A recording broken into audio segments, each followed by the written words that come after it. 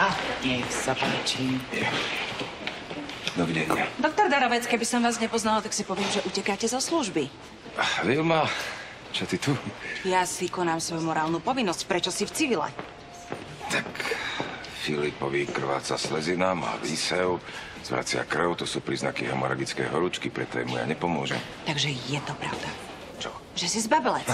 No. Áno, aj pokrytec. Keď si liezol do ryti Bernátovi, tak som si v duchu hovorila, že je to možno pre dobro nemocnice, ale teraz, keď sa na teba pozerám, ty si obyčejný sviniar. Filma pochopia, mám deti. A ja mám dieťa. A mám aj Hauptmana, takže mám na krku dve deti. A nezľaknem sa, keď ma potrebujú. Ja sa nemôžem nakaziť. Ak zomriem, tak potom čo? Tak bude o jedného zbabelca na svete menej. A